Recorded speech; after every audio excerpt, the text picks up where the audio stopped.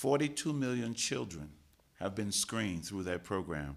We're celebrating a 20-year uh, anniversary with Johnson & Johnson Vision, which will continue hopefully for the next 20 years, and another 42 or maybe 50 million children will be screened.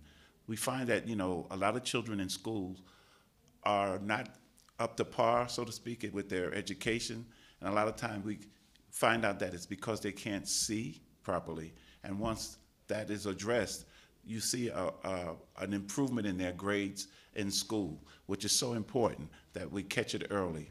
And through the screening program that we have, usually to kids six months to six years, if there's issues with their eyes, that's the best time to correct it. And through the screening program, over 600,000 children recently have been referred for eye care to, to their doctors. Uh, we had a campaign called Campaign 100 with a goal to raise $300 million. It ended at our international convention back in June in Montreal, and the final tally was $325 million, which was raised from Lions all around the world. What that does, that enables our foundation to continue to be there when a disaster strikes. That $325 million will enable us to continue to be there. And we have a saying out there where there's a need, there's a lion and the Lions and the residents of Kenya have benefited from part of those funds through the grants that they've received over the years.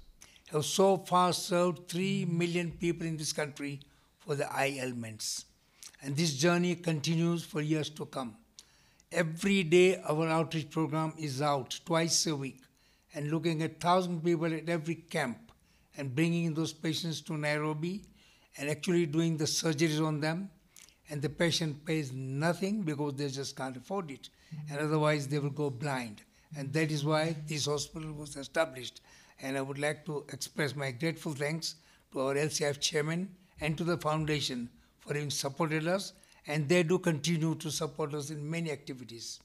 We've introduced what you call the Sight for Kids program for the last 10 years, and we go and visit schools every week, twice, and see those schools' uh, students are being taken care of. They're given free spectacles. They're given free medication for their eyes, as well as any surgeries to be done for those students who are poor is done free of cost.